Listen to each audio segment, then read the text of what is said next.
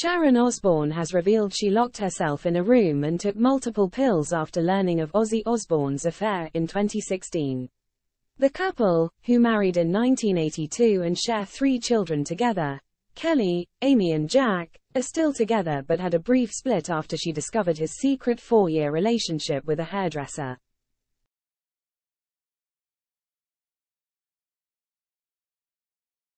Opening up about their marriage in a new interview, Sharon, 71, said she was used to Black Sabbath star Ozzy, 75, having groupies in his heyday and turned a blind eye to it, but when it came to an intimate affair things took a turn.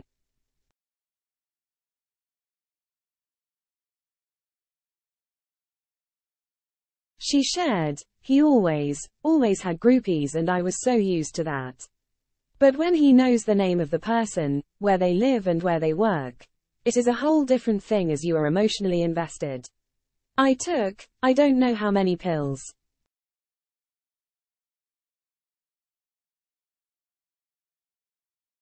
I just thought my kids are older, they are fine and can take care of themselves.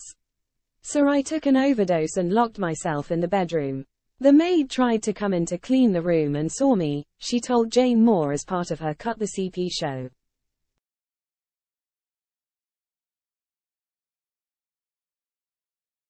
Ozzy's secret relationship led to a brief split for the pair. Confirming their breakup on chat show The Talk, she said, I'm 63 years of age, and I can't keep living like this. I've been avoiding looking at any pictures or reading anything. I know what's going on.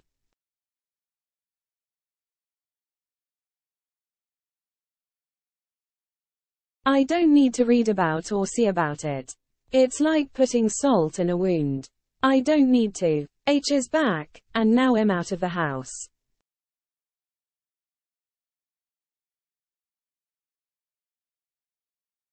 Ozzy later released a statement to Us Weekly admitting he did cheat on Sharon multiple times and that he was dealing with sex addiction.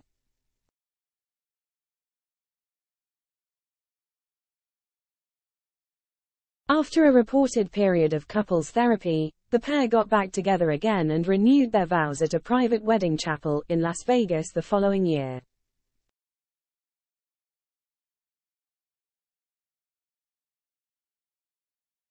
Speaking exclusively to Hello! magazine at the time, the rock star said, For me, this was actually our real wedding day.